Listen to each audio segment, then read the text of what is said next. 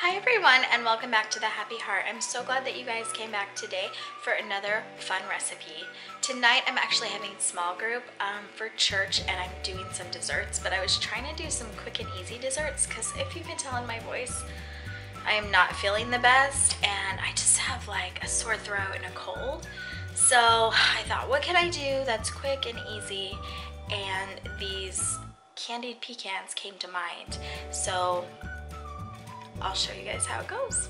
Disclaimer though, I have never made these pecans before. I've only had them at my girlfriend's house over Christmas and they were super good. So she sent me the recipe via Facebook and I'll leave it in the description box below so you guys can um, see which recipe I'm using. But I'm hoping they turn out good. Alright guys, per the recipe you need one cup of pecans, a half a cup of brown sugar, and cinnamon and salt all coming to a fourth of a teaspoon. You put it all in here over the stove, let it bubble up, and we'll see what happens. This recipe also calls for two tablespoons of water. So I have my brown sugar, salt, and cinnamon. I'm gonna put a little bit of water in and kind of stir it around.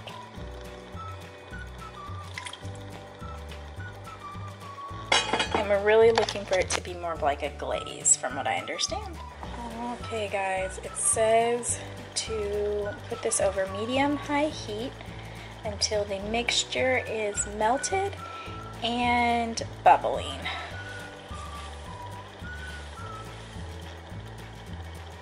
So I guess it's starting to bubble, but it combines really easily, so that's a good sign. So we'll just wait for it to bubble a little bit more. Oh, there it goes. Oh, I guess we're good. Okay guys, so I added my pecans. I added the whole bag. I added 16 ounces, which was one pound. Um, the original recipe says to add one cup, which would be about half my bag, which was eight ounces. Um, but I was doubling the recipe. It says to let them cook for about three minutes and to stir frequently.